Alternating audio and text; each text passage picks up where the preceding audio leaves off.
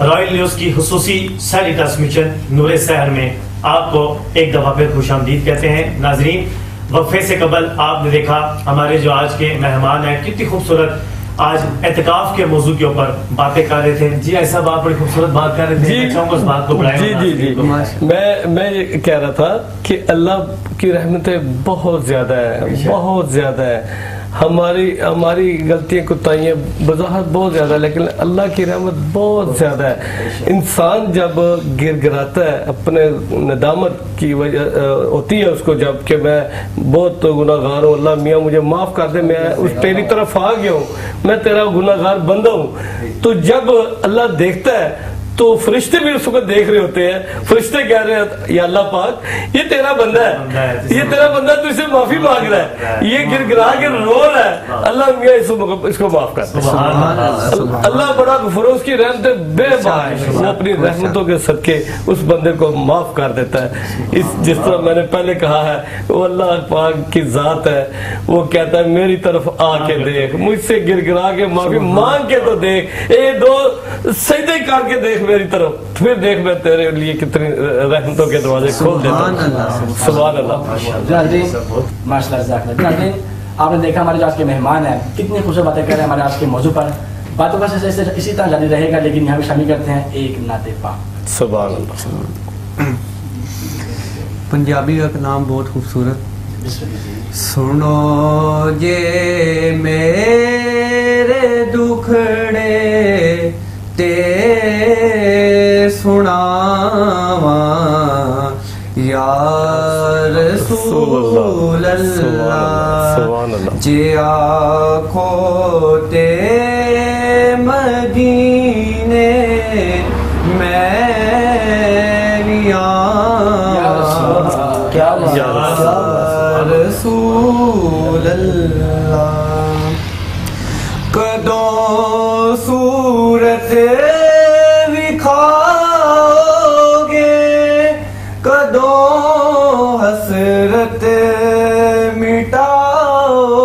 گے کدوں صورت دکھاؤ گے کدوں حسرت مٹاؤ گے کتھے ویکھن تو پہلو مر نہ جا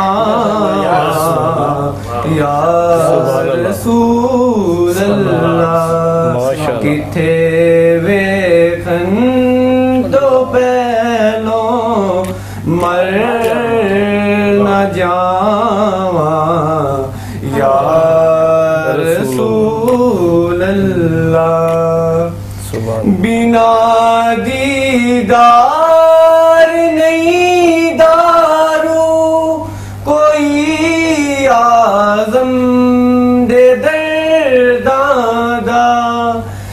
بنا دیدار نہیں دارو، کوئی آزم دے درداں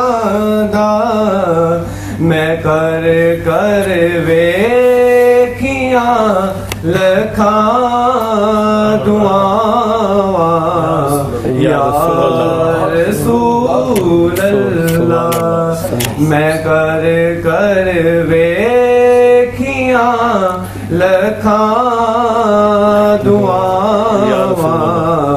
یا رسول اللہ سنو جے میرے دکھڑے تے سناوا یا رسول اللہ جے آنکھوں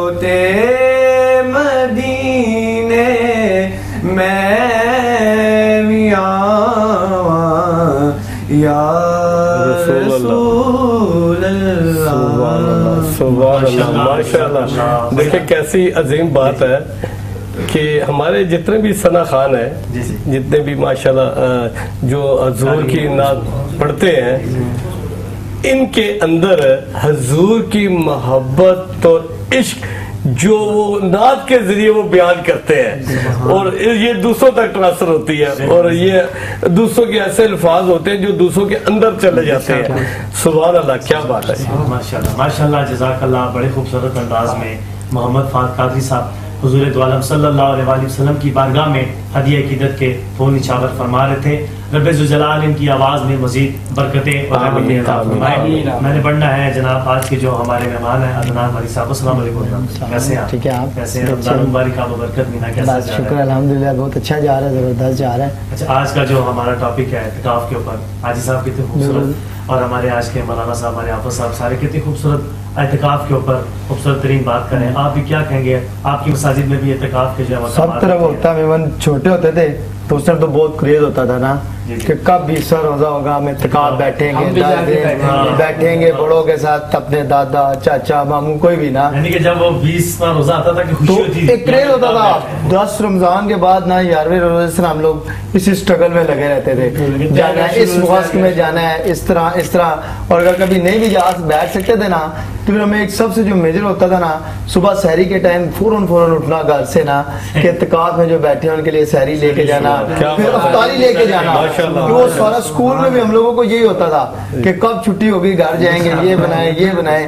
پھر جانا اس کے پاس جو بیٹھے ہوئے ہیں ان کے پاس اتقاف میں ان قدرتی طور پہ جذبہ اندر ہوتا ہے۔ نا۔ قدرتی طور پہ جذبہ اندر اور ہوتا یہ ہے ہم لوگوں کے اندر ہونا چاہیے۔ ہونا چاہیے۔ اور ہمارے بچوں میں بھی مزید آگے ہونا چاہیے اور ہمیں ہم نے یہ ٹرانسفر کرنا ہے۔ اب دیکھیں نا جیسے اسکول کے سمر کیمپس لگتے ہیں۔ جی جی۔ ہم لوگ کتنی خوشی سے اپنے بچوں کو یعنی اس ہل اسٹیشن پہ جا رہے ہیں جی جاؤ جی پندرہ دن کے لیے دس دن کے لیے۔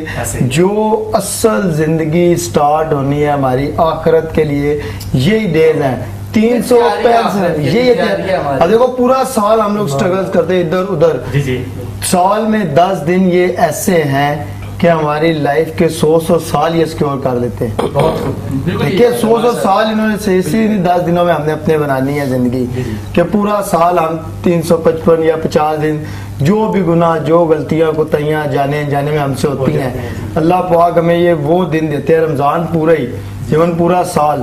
اللہ پاک تو کہتا ہے کہ ہر منٹ ہر پل ہے کہ آپ جب بھی دل سے دعا مانگو مجھ سے معافی مانگو میں معاف کروں گا غفور و رحیم ہوں پر یہ دس دن ایسے کہ یہ ضمانت کے ساتھ ہیں یہ ضمانت ٹھیک ہے کہ ہم نے ادھر اگر جاننا ہے تو ان دس دن میں ہمیں ضمانت ہے جیسے ہمارے مولانا صاحب نے ماشاءاللہ کہا تھا کہ دھرنا ہے کہ وہ چیز ہے کہ ہم نے یہ دھرنا دے دی اور یہ وہ دھرنا ہے کہ جس میں آپ نے کامیاب ہی ہونا ہے لے کے اٹھنا ہے اور اس میں دینا ہے یہ کوئی انسان نہیں ہے کہ جو دیتے ہوئے بھی سوچے گا کہ یار اس کو اتنا دے دوں یہ۔ بیس سال کا تو اس کو بیس دے کیا نہیں۔ اسے تو اپنی رحمت ہی رحمت اسے اپنی رحمت اسی لیے تو اسی لیے تو نبی پاک صلی اللہ علیہ وسلم نے ارشاد فرمایا نا کہ بدبخت ہے وہ شخص جو جو رمضان کا مہینہ پائے اور عبادت کر کے رب سے جنت نہ حاصل کر سکے۔ جنت نہ حاصل کر سکے۔ حالانکہ جنت کا اصول جو ہے وہ تو رب کے فضل پر مناسب ہے۔ ٹھیک ہے؟ نبی پاک صلی اللہ علیہ وسلم نے فرمایا کائنات میں وہ کوئی شخص نہیں ہے۔ جو اپنی عبادات کے ذریعے جنت جا سکتا ہے وہ وائل فاطمہ تو زہرا سلام اللہ علیہ کی ذات ہے لیکن رمضان کی فضیلتوں کے پر آ کر میرے آقا نے فرمایا کہ یہ اتنے فضائل اتنی برکتیں اتنی اتنی رحمتیں رحمتیں آسمانوں سے برس رہی ہیں برس کہ رہی۔ بندے تو ہاتھ پھیلا۔ سبحان اللہ۔ اللہ تیرے ہاتھ بھر ڈالے گا۔ ہاتھ پھیلا اور اتنے ہاتھ پھیلا اتنے۔ ہاتھ پھیلا کہ رب تیرے ہاتھ پھیلانے پہ تجھے جنت عطا فرما کیا بات جے میں ویکھا عملہ ولے کچھ نہیں میرے بلے۔ مولا جے میں ویکھا تیری رحمت ولے بلے بلے بلے۔ حضور یہ بڑی خوبصورت آپ نے بات کی ہے۔ میں یہ سمجھتا ہوں کہ میرے اللہ غفر و رحیم ہمارے ہمیں صبح سے لے کے رات تک رات سے لے کے صبح تک موقع دے رہے دیتے ہیں ایک ایک منٹ کا نیکیوں کا۔ کہیں سے آپ کو کوئی ایسی نیکی کر دیتے ہیں کہ جس سے اللہ پاک بڑا غفر و رحیم ہے اس نیکی کے بدلے اللہ تعالیٰ کتنے آپ کے لیے وہ رحمتیں کھول دیتا ہے۔ ہم جا رہے ہیں اگر راستے میں پتھر پڑا ہوا ہے۔ یا کوئی ایسی چیز پڑی ہوئی ہے ہم اس کو اٹھا کے سائڈ پہ رکھ دیتے ہیں تو یہ بہت بڑی نیکی ہے پھر اس کے بعد آپ کے پاس ایسے لوگ آ جاتے ہیں جو بیچارے بڑی ہی تکلیفوں سے گزر رہے ہیں آپ ان کی اخلاقی طور پہ کسی نہ کسی طریقے سے ان کی تکلیف دور کر دیتے ہیں۔ جب وہ کسی مجبور تکلیف دے جو شخص ہے، اس کی تکلیف وہ مجبوری دور کرتے ہیں، تو وہ جب تھوڑی دیر میں وہ خوش ہو جاتا ہے کہ یا اللہ تیرا شکر ہے، تیرا نیک بندہ ملا، اس نے میری یہ تکلیف دور کر دی ہے۔ تو یہ بھی بہت بڑی حضور یہ سعادت ہے۔ اور اللہ تعالیٰ ان- ہمیں اور اپنے بندوں کو موقع دیتا ہے سالوں سال موقع دیتا ہے۔ یہ دیکھو بزرگوں نے کہا ہے نا رحمت حق بہانہ می جو جد آپ کو موقع دیتا ہے بہانے دیتا ہے کہ آپ کس نہ کسی طریقے سے آپ کریں۔ سبحان اللہ کیا بات ہے۔ موقع تو مل رہا ہے۔ لیکن ہم اس سے فائدہ نہیں اٹھا رہے نا ہاں۔ جو ہماری جو ہماری یہ آپ بالکل ٹھیک کہہ رہے ہیں۔ ہمیں موقع اللہ پاک قدم قدم پہ دے رہا ہے۔ قدم قدم۔ ہم اس کا فائدہ نہیں اٹھا رہے۔ ہمیں فائدے اٹھانے چاہیے۔ ہمیں بہت طرف دیکھنا چاہیے۔ ہمیں اپنے سے ہٹ کے ہم نے لیفٹ رائٹ دوسری طرف بھی دیکھنا چاہیے۔ اپنے گرد و نما لوگوں میں دیکھنا چاہیے۔ کہا تو یہ جاتا ہے کہ آپ کے اڑوس پڑوس میں اگر کوئی بھوکا سو جائے تو آپ کی یہ کھانا پینا ہر چیز جو ہے وہ بیکار چلی جاتی ہے۔ تو ہمیں ہم اپنے گرد و نما بھی لوگوں کو دیکھ لیں آج سامنے بھی آنے والے لوگوں کو دیکھ لیں۔ تو اسی طرح میں سمجھتا ہوں کہ اللہ تعالیٰ کرے کہ جیسے حضرت عمر علیہ فاروق کے دور میں کوئی بھی زکوٰۃ لینے والا نہیں ہوتا۔ تو میں چاہتا ہوں کہ ہم چاہتے ہیں بلکہ کہ اللہ تعالیٰ کرے کہ ہمارے اس وطن عزیز میں بھی ایسا سسٹم بن جائے کہ وہ ایک قانون نافذ ہو جائے کہ زکوٰۃ لینے والا بندہ ہی کوئی نہ نظر آئے۔ تو ایسی کیفیت جو ہے وہ اللہ تعالیٰ کرے کہ اللہ تعالیٰ ہمارے جو ہمارے اس ملک کا سسٹم چلا رہے ہیں، جو جو حکمران ہے یا جو کرتا تردہ لوگ ہیں، اللہ تعالیٰ ان کے دلوں میں یہ ڈال دے کہ اے اللہ تعالیٰ، وہ یہ سوچے کہ یہ اللہ پاک ہم نے لوٹ کے آپ کی طرف آنا ہے۔ تو اس دنیا میں جو ہم آپ نے اللہ پاک تو ہماری ذمہ داریاں لگائی ہیں جو ڈیوٹیاں لگائی ہیں ہمیں وہ جس کام کے لیے ہمیں بھیجا ہے ہم اگر اس کام کو ایسا طریقے سے کر لیں تو میں سمجھتا کہ ان کی بخشش کا یہی کام بن جاتا ہے۔ اور اس قوم جب قوم خوش ہوگی عوام خوش ہوگی اللہ کی ذات پاک خوش ہوگی۔ اللہ پاک نے فرمایا کہ اللہ پاک حقوق اللہ معاف کر دے گا لیکن حقوق عباد نہیں معاف کر نہیں سکتا دیکھیں ابھی آپ دیکھیں یہاں پہ ناظرین باتوں باتوں میں ہمارا موضوع اتقاف کا لیکن یہاں پر باتوں میں حقوق العباد کی بات آ گئی ہے۔ تو اللہ پاک ہمیں ان باتوں پر عمل کرنے کی ہمیں ان سے سیکھنے کی توفیق عطا فرمائے اور ہمیں ایسا بنا دے کہ دیکھیں آج کل جو ہمارا دور ہے بات کر رہے ہیں پڑوسیوں کی جگہ جو ہم پڑوسی چھوڑ دیں۔ ہمارے گھر میں ایسے لوگ ہوتے ہیں کہ ہم لوگ ان کا خیال نہیں رکھتے ہیں ہم لوگ کیوں ہمیں کوئی ملازم ہو جائے۔ جی جی۔ صحیح ہم لوگ کیا سلوک کرتے ہیں اس کے ساتھ؟ دیکھیں بالکل۔ گناہ کتنا ہمارا دیکھنے میں آ رہا ہے ٹی وی پہ روزانہ دیکھ رہے ہیں۔ چھوٹی چھوٹی بچیوں کے اوپر ملازموں بچوں کے اوپر ظلم کر رہے دیکھیں ہیں۔ جی یہ بات ہے۔ یہ بہت بری بس بات اللہ ہے پاک اللہ پاک سے دعا ہے کہ اللہ پاک اس مہینے کے صدقے اس عشرے کے صدقے اپنے پیارے حبیب کے صدقے ہمیں باتوں کو سننے کی سمجھنے کی عمل کرنے کی توفیق عطا فرمائے۔ اور ہم سب کو وہ سب اس راستے پہ چلنے کی توفیق عطا فرمائے جو ہمارے آقا نے ہمیں دکھایا ہے۔ اچھا علامہ صاحب آپ کی طرف آ رہا ہوں۔ علامہ صاحب سوری اعتکاف کی کوئی قسم بھی ہے؟ اعتکاف کی قسمیں وغیرہ ہے یا پھر اعتکاف کی کیا فرضیت کے حوالے سے کیا ہوگا؟ ہاں جی اعتکاف کی بنیادی طور پر تین قسمیں ہیں۔